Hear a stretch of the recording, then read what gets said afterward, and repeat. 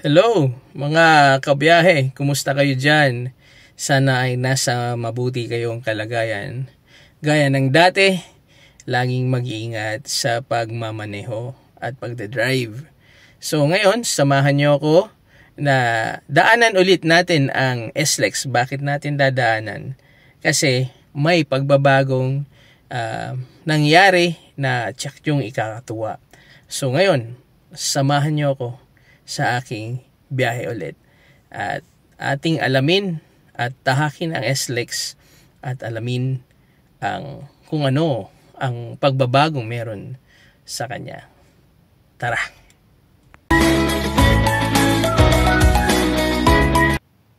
Mabalik tayo sa nakaraan.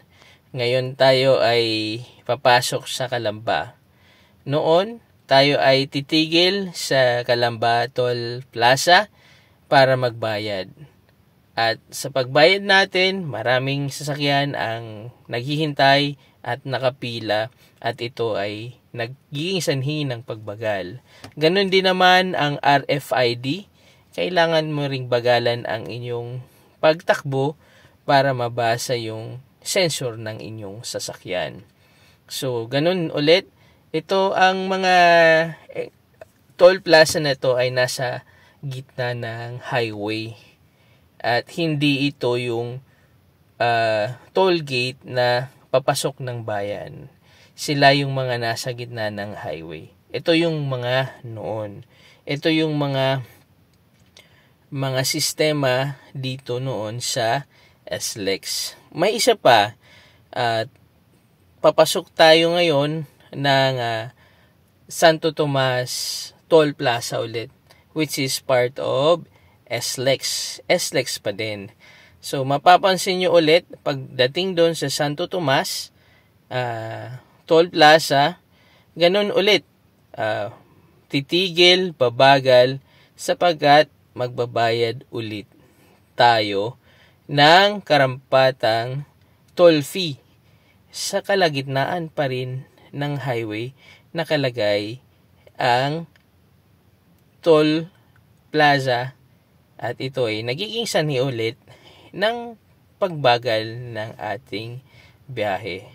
So, yun ang nakaraan. So, ang nakaraan, sisingilin tayo sa Kalamba, sisingilin tayo sa Santo Tomas bago tayo pumunta sa patutunguhan natin. So, yun ang uh, medyo nawala sa kasalukuyan. So, diretso to. Kung ito ay, ito pa rin ay video ng nakaraan. Ito nga pala ay kinuha ko sa Star Tollway, Manila to Bicol. So, pag diretso mo ng Star Tollway, wala ka nang iisipin. Kasi pag sa Star Tollway, pass-through na yan sa umpisa doon ka na lang magbabayad kung mag exit ka na kung saan man sa Star Tollway. So, it, yon, ito yung nakaraan sa SLEX. Yung Kalamba exit, saka yung Santo Tomas exit, ay magbabayad ka sa kaligitnaan ng highway at mayroong nakalagay doon na uh, toll plaza o toll gate kung saan kayo ay magbabayad. Pagdating mo ng start tollway, pass through na yon. So, doon ka na sa exit. Ngayon, the next day. ang kasalukuyan. So, sa kasalukuyan, pansin nyo, nandito ulit tayo sa Kalamba, start, uh, sa Kalamba Toll Plaza, pansin nyo, wala nang maniningil dyan sa Toll Plaza na yan. Bagkos, yan ay pass-through na lang. So pansin nyo ang difference, pansin nyo ang kaibahan. Kung nakaraan, kayo ay titigil at magbabayad. Ngayon kayo ay lalagpas na lang at dire-diretso kayo. Sisingilan na lang kayo kung kayo ay nakarating na sa inyong exit point at doon na lang kayo magbabayad. Ito ulit ay exit point at walang naniningil So, dire-diretso ulit yan. Ganon din naman, papuntang Santo Tomas exit. Ganon din. Inalis na rin yung mga tao doon na maniningil at ginawa na ring pass-through. Lahat na yon ay pass-through lane na lang. So, ang bayad nyo ay sa exit point kung saan kayo lalabas. So, ito ulit sa Santo Tomas exit. Hmm? Ito ulit tayo. At uh, tingnan natin kung anong pagbabago. So, yun ang pagbabago ay hindi na sisingilin sa kaligitnaan ng highway. Bagkus, tayo ay magbabayad kung tayo ay nakapasok na o papasok na ng bayan na pinili nating pasukan. So, dire-diretso lang yan. Uh, tingnan natin. Ito na po pala yung Santo Tomas exit. So, tingnan ulit natin. Ayan.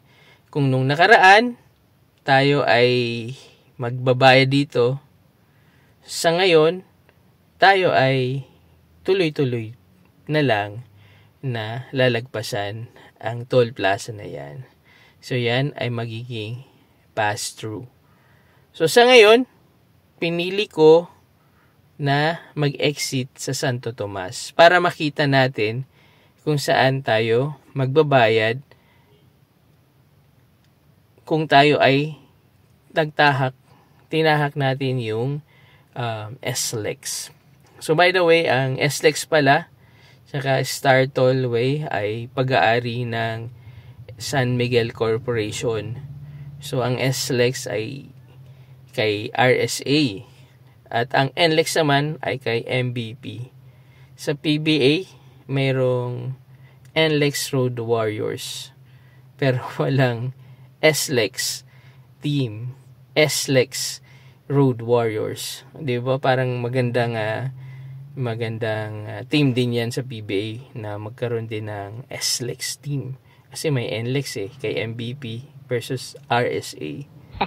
So malapit na tayo ngayon dito sa exit ng papuntang Santo Tomas exit. Yan.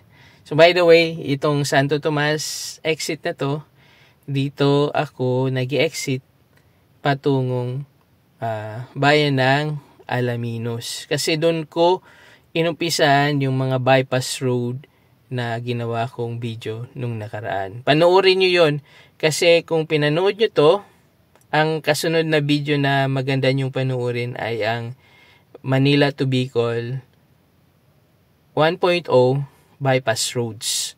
So, ito, dito kayo mag exit kung doon ang daanan nyo patungong bypass. Kung kayo ay dediretso naman ng Star Tollway, uh, huwag kayong mag exit dito sa Santo Tomas. Ngayon, pa-exit na tayo dito sa Santo Tomas. Kung didiretso kayo dyan, yun ang padiretso ng Star Tollway. So, ito yung Santo Tomas exit ng SLEX. Ayan. Madali lang po, no? So, Ulitin ko, ang difference ngayon sa mga Calamba exit sa Santo Tomas uh, Toll Plaza, wala na pong naniningil na mga uh, sa toll gate, kundi kayo ay magbabayad point to point. Ibig sabihin kung kayo ay exit sa Santo Tomas, doon mismo sa papasok ng bayan, kayo magbabayad. Mayroong naka uh, mayroon doon na toll gate kung saan kayo magbabayad. Andito na tayo sa papasok ng bayan ng Santo Tomas at nakita nyo itong exit point. So, yan. Diyan na mismo kayo magbabayad. So, isang bayad. Wala nang wala nang kung ano-ano pang uh, mga toll plaza na babayaran kayo na nakaka sagabal sa inyong paglalakbay. So ito, papasok tayo sa sandbay ng Santo Tomas. Tataas ang checkpoint kasi nagbayad na. Ayan. So pasok tayo. As usual, kung tayo ay nasa papasok ng bayan, mararanasan natin ang ganitong klase ng mga pagbagal, mga ganitong klase ng uh, heavy traffic paminsan-minsan dahil kung ano-anong klase ng sasakyan ang nakakasabay natin sa makipot at maliit na kalsada. Meron din diyang tumatawid na mapipilitan din tayo na tumigil. So ayun, dire-diretso na siya. Dire-diretso na tayo. Liliko tayo ng kaliwa. Kasi ito ay papasok na ng bayan ng Santo Tomas, Batangas. By, by the way, ang Santo Tomas ay city. Sa city sa probinsya ng Batangas. Ayan. Diretso na tayo. Tayo ay tatahakin natin ang buong Santo Tomas mga kapatid sapagkat ipapakita ko sa inyo kung paano dumiretso sa bayan ng Alaminos. Kasi doon sa bayan ng Alaminos, mayroong bypass akong itinuro at mayroon akong video na ginawa nung nakaraan na tinuro ko sa inyo yung mga bypass roads papuntang Bicol. So, dito magsisimula yon Dito sa Santo Tomas. Doon kayo mag exit sa Santo Tomas exit. At dito tayo sa Santo Tomas. Dadaan muna bago dumiretso ng bayan ng Alaminos. So, yun. Sa bayan ng Alaminos, doon ang Manila to Bicol 1.0 ko na video Uh, ilalagay ko yun sa end screen ko mamaya para makita nyo ang karugtong nito na kalsada ay ang bayan ng Alaminos. Alright. So, andito tayo pa rin sa bayan ng Santo Tomas. Makita mo ang uh, busy na kalsada at uh, pagbagal pa rin ng ah, daloy ng trapiko sapagkat tayo ay nasa bayan-bayan. Okay, makikita nyo yung palengke ng Santo Tomas. Diyan ako bumibili ng uh, masarap na sinaing. Diyan din ako minsan bumibili ng kape. Kapeng barako dito sa bayan ng Santo Tomas. Uh, sa unahan ay uh, mayroong uh, rotonda na ituturo ko sa inyo para hindi kayo malito patungo ng bayan ng Alaminos. Kasi nga, inuulit ko, ang kasunod na bayan ng Santo Tomas ay bayan ng Alaminos. Bago yon may rotonda dito na baka ikalito nyo kung saan ang papasok. Kasi sa bandang uh, kanan, ito ay patungo ng tanawan. Nakita nyo malaking isuso na yan. Yung patungo ng kanan ay tanawan. Itong padiretso, yung sa kaliwa ng isuso na logo na yan, yung diniretsohan din ng bus, yan ay padiretso na ng Bicol. At ang susunod na bayan dito ay ang bayan ng Alaminos. So, ayun, ayun lang guys. At uh, ingat sa biyahe ulit. At huwag niyong kalimutang mag uh, subscribe. At uh, panoorin nyo rin po yung aking mga music videos. Ingat na lang sa inyo. Salamat.